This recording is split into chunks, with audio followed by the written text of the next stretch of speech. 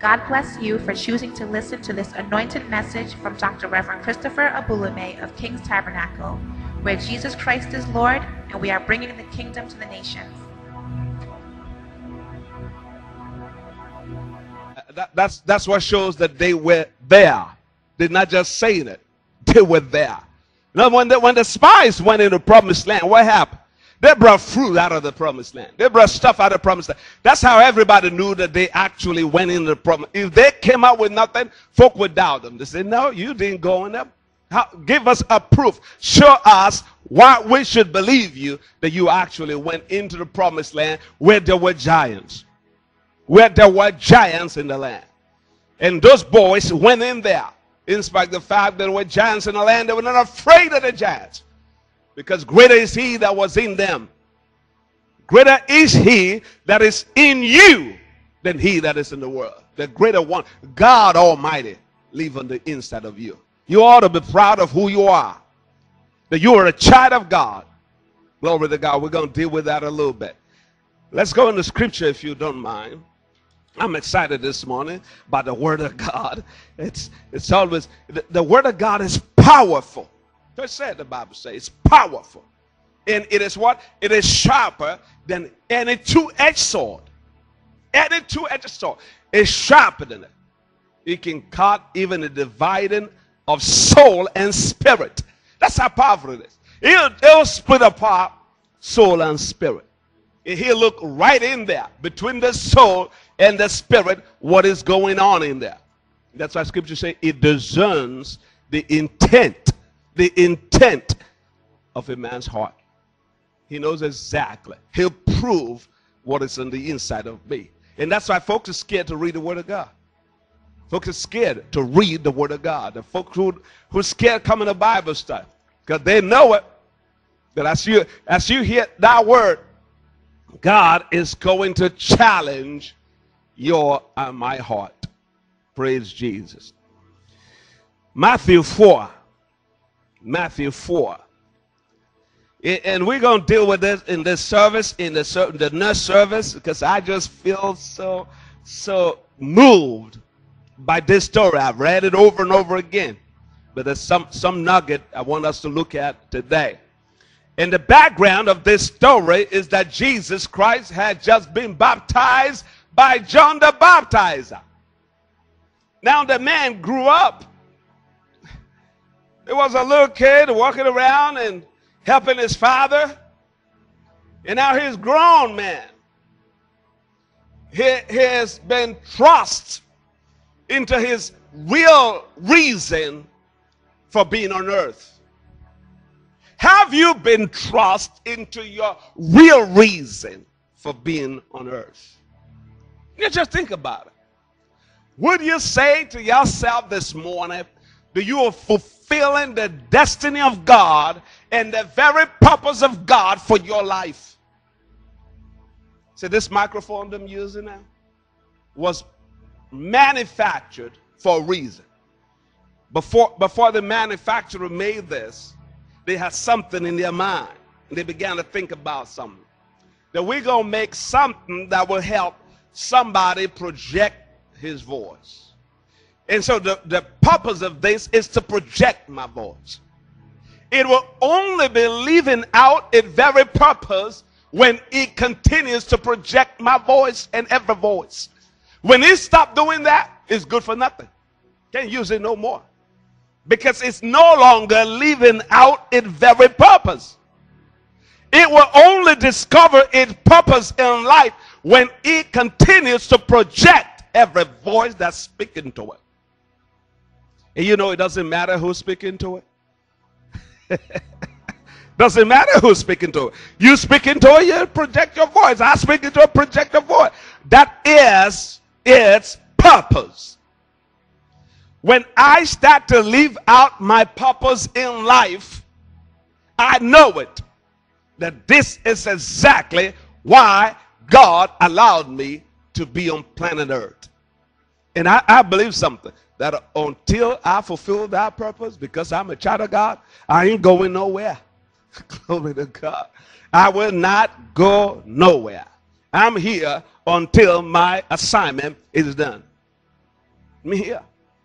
And, and, and I, I said the last time, and I truly believe this, that when, when my prayers are not answered speedily, like quickly, it shows that God has still got some plan for my life. And my life is just going to continue until the promise come to pass. I just believe it. You know, the folk who cry, oh, God didn't answer my prayer. Oh, God, God, you didn't answer. No, no, I, no, no, no. The more you delay, the more I live. Glory to God. Now look at Abraham, for instance. God has promised Abraham, I'm going to give you a child. You're going to have a son and all of that and all of that. Do you know that Abraham lived past 100? And, and he, he didn't get his promise until he was about that. 25 years have passed. Now, if he got his promise when he was 75, he probably wouldn't leave the rest 25 years or more that he lived.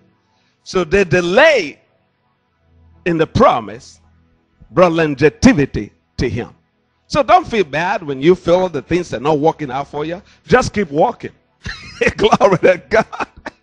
when things are not working out for you, just keep what? Working. Hallelujah. Don't stop.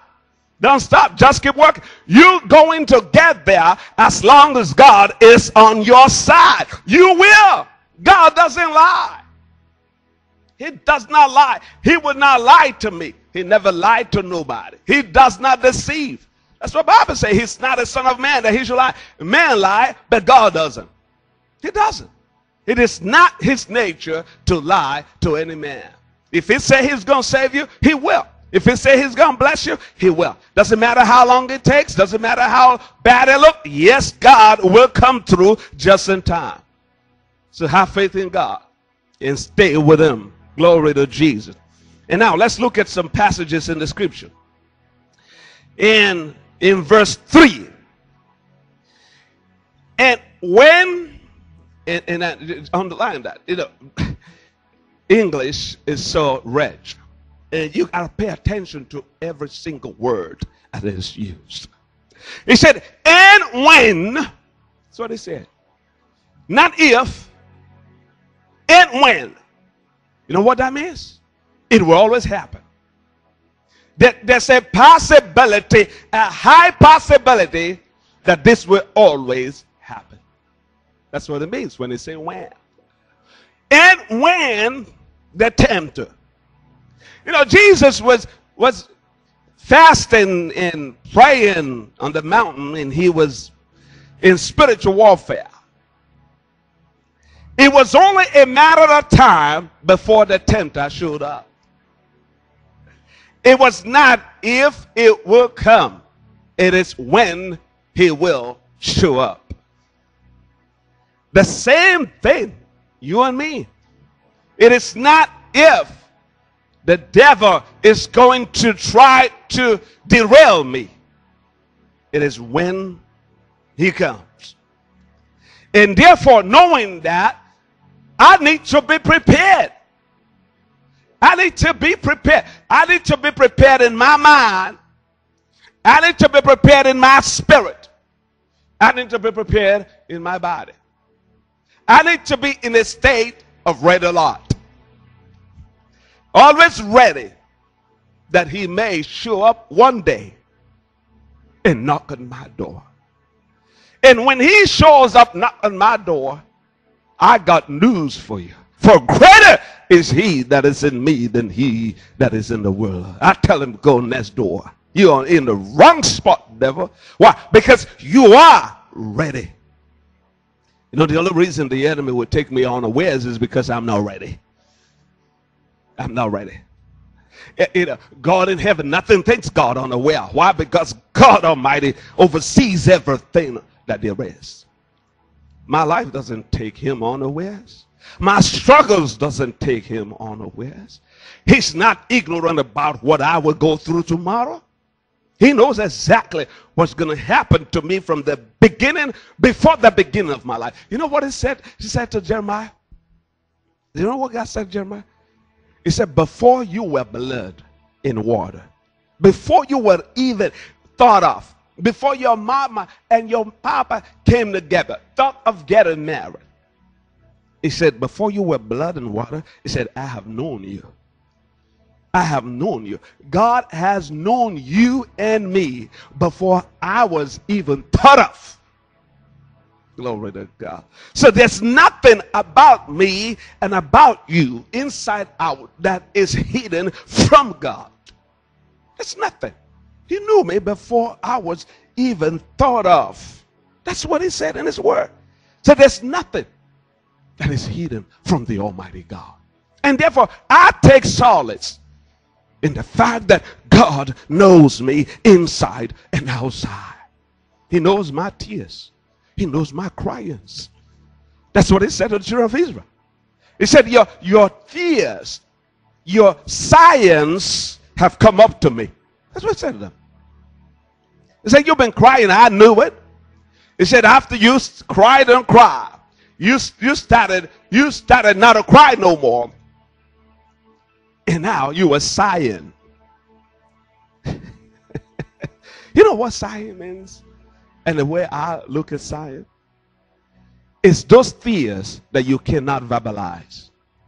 I don't know, you've never been there. The pain is too excruciating. You, you, you have thought about it so deeply for a length of time. You've worried so much about it. And sometimes tears have come through your cheeks. And after a while, you can't even cry no more. You try to get those tears out, you can't. Now, what you do is to express your deep seated struggle in a way that you let out steam every now and then. When a man or a woman sigh, what is happening? He, he has accumulated so much steam on the inside of him. And every now and then, he just feel like letting it out. And God said, even that one, I know it. He said, it's come to me and have come down to do something about it. He's always in the business of doing something about it. He said, when that tempter came, when the tempter came. And Jesus said in some of the passages, He said, the prince of this world the prince of this world, meaning Satan, came to me and found nothing in me. In other words, he could not use me when he came. Now, the trick of the devil is always to find somebody to use. He cannot operate in this world by himself. He's finding folks to use. And like we said before, if if God need to bless you, he'll use somebody. He'll use somebody bless you. If Satan need to hurt you, he'll use somebody. And so he's looking for folk. And therefore, when you are in an environment where everyone is against you, it's not them, it's Satan. He just came. And he's coming through them. And sometimes you got to ignore them and walk away because what he wants to do, Satan will be laughing out himself when he can derail me. When I say derail, I mean displace. When he can when he can move me out of place. That's what it means. When he can take me out of place. This is let's just assume this is my place. And this is where God wants me to be. And this is where my blessing is going to hit me. This is where I'm fulfilling my destiny. This is where the glory of God is upon me. And you know what devil gonna? He will do everything, everything to move me from here to here. Now I'm in the wrong place. I just got this place. And that's what he's gonna do. And he'll use anybody. He'll use folk, he'll use circumstance, he'll use situation. That's why a child of God need to be wise. When he can no, no, no, Satan, no, you cannot. The Lord rebuke you. I rebuke you in Jesus' name. That's what he's gonna do. Can't let him move you out of your place. Can't let him. When you let him, you know what's going to happen? He'll replace you. He'll replace you. And now let's look at the Bible. It said when when when the tempter, the tempter here is Satan, came to him. He came to him. And he said, so he can speak to he said It, not, not every voice that you hear is the voice of God. No. You, you need to be able to differentiate between who is speaking, whether it's God or it's Satan. And it comes when you have fellowship enough with God that you begin to understand when God is speaking. Now, if you stay with me for a while, even when you're in the parking lot and I'm speaking, you know that that's pastor speaking. But somebody who is just visiting the church, have never been here, will not be able to differentiate when I'm speaking and when somebody else is speaking. Why? Because you've been here a while and long enough to differentiate the sound and, and, and, and the phonetics of the person who is speaking. Same thing. If you're new to God, it'll be hard for you to understand when God is speaking, uh, the devil is speaking. But the more you fellowship with God, the more you are in his presence, somehow you begin to understand the voice of God. It's not hard. The folks uh, say, well, how can a man hear from God? Yes, we can. How can a man hear from God? You're disqualifying yourself when you say to yourself, it's impossible for anybody to hear from God. You're disqualifying. You will not hear from God if you're negative about that. All I need to do is to stay in fellowship with him. And the Bible says, and the tempter said, and what did he say? What did it say? Now, if I tell you, how would you feel if I tell you that Satan knows more about you than you know about yourself? I, I mean, I would, I would be feeling like I need to know more about myself if somebody would have told me that Satan knows me more than I know me. And and he, Satan come to Jesus, says something. He said to Jesus, if thou be, that's, that's how it's translated here. But the original translation actually is, I know that you are the Son of God. I know. In other words, since you are the Son of God, since you are, he said, I don't deny that you are the Son of God. Same thing you me. Do you know that you are the Son of God or a child of God? Do you know that? You know what Bible say? In John's Gospel, chapter 1 and verse 12. It said, As many as receive him, you, you, you, and me. The world might have told you you can how can you and me be a child of God? A son of God. How can we possibly be? You know when, when the Bible uses the word son of God now just listen to me. It it it could not and project a level of divinity that's in a man or woman. It's such a powerful word and, and a, a powerful title. Jesus is Son of God in his second person in the Trinity.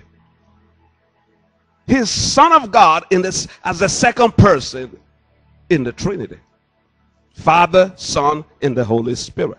That's the Trinity of God. Father, Son, and the Holy Spirit. He is Son of God. Son of God. Of means that it is from God. The nature he has is the nature of God. The nature you and I have is the nature of our parents. Some of you look just like your parents because you're from your parent. You can walk into your parent home. You can have access to everything that your parent had because you're from them when the Bible says, I am a son of God, it's saying to me, I have access to what God has. As many as receive him. To them gave he power to become. We were not before. To become. It takes becoming by the power that Jesus gives to me to be Son of God. As many as receive him, to them gave he power to become sons of what? Of God. Being son of God, you have now the nature of God. There's divinity in the inside of you. Somewhere in the Old Testament it said, eternity has been placed in you and in me. God's nature is in you. And the devil knew it. So when devil came, he said to Jesus, since you are the son of God. And uh, imagine if I say the same thing to you today. Some of you will say, well, I don't know. I don't know about that, pastor. I don't know about that. If I were to come to you and say to you, sister, since you are a son of God, brother, since you are a son of God. Now think about your reaction. Some of you feel, well, well I, don't know about that. I don't, I don't think I am. I'm not qualified to be. Were you qualified to be the son of your parent? Was he about qualification? Did you have to apply to be the son of your father? Glory to God. Or your mother? What qualifies you to be the son of your parent? Now tell me, what qualifies? You, can you even imagine what qualified you to be a son of your parent? Nothing. Because you were born of them. That's all. Same way. So it's difficult for folk to understand it. you are son of the living God. You are a son of God. Yeah, we you know we're, we're we're happy to say I'm a child of God, I'm a child of God. But when we graduate to be son of God, folk don't like that. No, I can't handle that. But that's exactly who you are. You are a son of God. And he said to him, Since you are a son of God, eh, number one lesson here is that our identity is that we are sons of God. Number one, and the devil knows that. He knows it that you are. And some of us don't even know who we are in Christ. And, and, you know, Satan, Satan will love it when you have no idea of who you are. He will love it. But he know who Jesus was. And he said to him, Jesus, since you are a son of God. So secret of uh, victorious living, number one, is that I must understand my identity as a son of God. And number two, he said, because you are son of God, command these stones. So which means also that I can command. It is expected of a son of God to command. Suspected. So wait now, I'm begging, please Satan, leave me alone, leave my home, leave my this. Please Satan, please just leave me alone, please. I'm tired of that. That's not who you are. You're living beneath your privilege. If all you do is beg Satan, please get off my back, get off my back. Please leave my kids alone. Please leave my business alone. Satan. He'll just be happy. I say, we got this one. We got him. But if you can rise up from your frustrations, depressions, it, it, it, it's up, but yeah, you're coming up. You're, you're coming up. And you stand. Say, Satan, I command you in the name of Jesus, the name that's above every name, get out of here. Then you're living your life of victory. Victims do like that. But victors stand like this and say, Yes, bring it on. Because greater is he that is in me than he that is in the world. I can conquer you in the name of the Lord because it teaches my hand to fight and my fingers to war. By him I can leap over a war. By him I can run over a troop. I can do all things through Christ who strengthened me. When you begin to talk like that, the Son of Man, and the Son of God, I just have. You're living to type. You are projecting my voice like this microphone. Yeah, you are. If this stop working, what gonna do? I drop it, I get another one. Right? And and in that moment when it is abandoned, it is no longer living true to type. So sometimes nature, heaven, look at us and wonder why are them sons of God living beneath their privileges? But you know who is glad? Satan. because we're no longer a threat to him. He dominates us now. So he knew, Son of God. Number one, we know identity. And number two, we know our authority. We can command. And what it said, Jesus, he said, since you are a son of God, he said, command these stones to become bread. You know why he would tell him to do that? Because he can do it. Yeah. That's why he wouldn't, Satan wouldn't tell him to do what he couldn't do.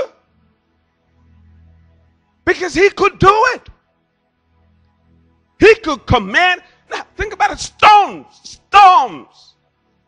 He, he, he's not even bringing him flour. Say, all right, we know bread made out of flour. All right, just make this bread out of flour. That, that, this is stone, dead hard, dirt. And he said to him, Since you are a son of God, you have the power to do this. Now do it. The reason he told him to do it is because Jesus can do it. When I come to the realization to my identity and I understand my authority, I stay in that privilege of being able to command. Command the door open, and it will in the name of Jesus. It's not it's not by your power nor by my power. This is not magic. It's not by your power nor by my power. It's the power of God. And scripture confirms that there's power in that authority and in that name. That I can command diseases to leave and they will, demons to evacuate and he will. I can speak to the sun, I can speak to the moon in the name of the Lord Jesus Christ, and they'll listen.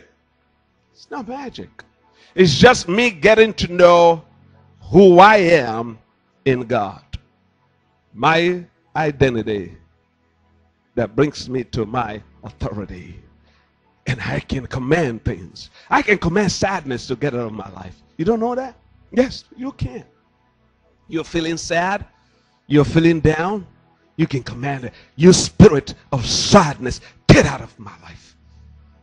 And it will because you're commanding them, not in your name, but in the name of Jesus Christ, to get out of. These are some of the secrets of living a victorious life. And and then and then the, the, the devil, after he commanded them, and then Jesus said something in verse 4, he said, But he answered and said unto him, It is already written it's already written man man shall not live by bread alone but by every word that proceeded out of the mouth of God. Jesus said to him it is already written that man in our humanity, man, not the spirituality, man in our naturality shall not live by bread alone. And now don't forget the word alone. Jesus is not saying you should not live by bread. Jesus is saying that, yes, we survive by bread, but it cannot be by itself. He said, Man cannot live by bread alone. But, so that, that the higher level of living is by the word that proceeded out of the mouth of God. Is the word that proceeded out of the mouth of God. And now, listen to this very carefully. Don't get me wrong. Make sure you understand. If you don't after the service, ask me a question. The word that proceeded out of the mouth of God here does not necessarily mean what you read when you study your Bible. It could be, but not necessarily. In the beginning, the word was the Lord created the heavens and the earth. Genesis chapter 1, verse 1. Yes, that's a word. But it's a word that proceeded out of the mouth of God. That is a word that is specially released for you. That's a tailor made word for you. That's a word of revelation for you.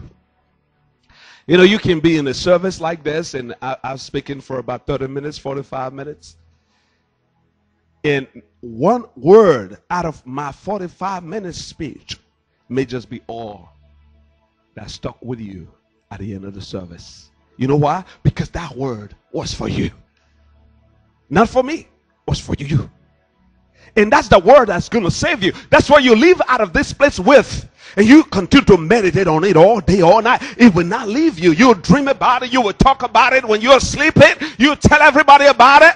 Why? Because that word was your word. That's how you know that the word proceeded out of the mouth of God. Not, not memorizing the Bible is good. That's not what I'm talking about here. What makes me a victorious Christian is being able to pick out a word that proceed out of his mouth. Pick out a word that proceed out of his mouth. What did he tell you lately? What is he speaking to you now? If at the end of this service, as you're walking out of this place, and you got something from all that I said, and you can hold on to it all day long, all night long, that is a word that proceed out of God's mouth just for you. He said, Man shall not live by bread alone. Jesus wasn't discounting bread. Food is good. He's not saying that food isn't good. That's why the writer, the translator, the word alone, because that's what it said. But he, he introduced the word but. But how does man live? And now, if you if you rewrite that, rephrase this, he would say, and he answered to him, Man shall live by every word that proceeded out of the mouth of God. That's it. That's it. Take out the details. That's how it will read. Now, first, I know my identity, I know my authority. And now, how do I stay in it? It's every word that proceeded out of the mouth of God. That everybody say, You cannot do it you don't have what it takes to do it. You have not learned enough to be able to do it. And then you come home to God. And God says to you, Yes, you can. For I have given you all things that pertains to life and godliness. Yes, you can. You know what's going to happen? You will have to choose between that word that proceeded out of the mouth of God and what circumstances are folk and folks are telling you. If you're a, a Christian who want to live a victorious life, you stay with what God just said. Everybody told me, yes, it's not possible. Yes, you cannot do it. Yes, you don't have what it takes. And I just came to God. God said, yes, you can. And I, I, I yes, I can. And I begin to, yes, I can. And I begin to tell myself, yes, I'm able to do all things through Christ who strengthened me. I can do it because the Father told me I can. You know what I'm doing? I'm living my life based on the word that proceeded out of the mouth of God. That's what it said. That man live, man live by every word that proceeded out of the mouth of God. That is a revealed word for you. That's a, a specially packaged word for you. And when God gives you those words and He gives you that revelation, don't throw it away. God is saying to you, that is your life right there. If you want to be victorious Christian, that's exactly what you need for that moment. And let nobody take it from you. Not your mind, not the devil. Nobody must take it from you. That is the secret right there for your victorious living. Just lift up your hand and bless the Lord. We're closing now. Lift up your hand. Bless God. Tell him, Lord, I just thank you. I thank you for I know who I am. I know who I am. I'm a son of the living God. I know my authority. I can command. Uh, I know how I stay in my authority is by every word that proceeded out of the mouth of God. Just tell him, Lord, I thank you for it. I thank you for it and, and, and tell God, today I have my mind made up. I will no longer, I will no longer let circumstances and situations and people speak to my ears beside God and the word that proceed out of the mouth of God. And if you don't understand God, you don't know God, tell him, God, I want to fellowship with you more. I want to fellowship with you more so I can know when you're speaking. Differentiate the word of God from the word of the devil. Hallelujah. Hallelujah. May we rise in the presence of the Lord this morning. God is good. Today is our communion Sunday. Today we share together the body and the blood. And we renew our covenant with Jesus again that we are sons of God and we have come to fellowship with the Almighty God. And tell him, Lord, as I as I partake of the communion today, I prepare myself to receive from you. If there be anything in me that would deny me the benefits of the communion, Lord, please take it from me. Because I want to receive the blessing of the cup and the blessing of the bread in the name of Jesus. Glory to God. Father, let it bless my life in the name of Jesus. Hallelujah. Glory to God. Tell God, put something in my hand and put something in my spirit. As I touch the communion element, Lord, put something in my spirit that stays with me throughout my life in the name of Jesus. Let life, true life, come alive in me in the name of Jesus. Glory to God. Hallelujah. Just bless the Lord one more time. Bless him one more time. Bless him one more time. Bless him one more time. Glory to God. Glory to Jesus. Hallelujah. Lord, bless us in Jesus' name. Let your presence, oh God, surround us and let your breath come upon this element. That He bless everyone that will touch it and everyone that will eat of it. In the name of Jesus. And Father, we give you praise. Hallelujah. In Jesus' name.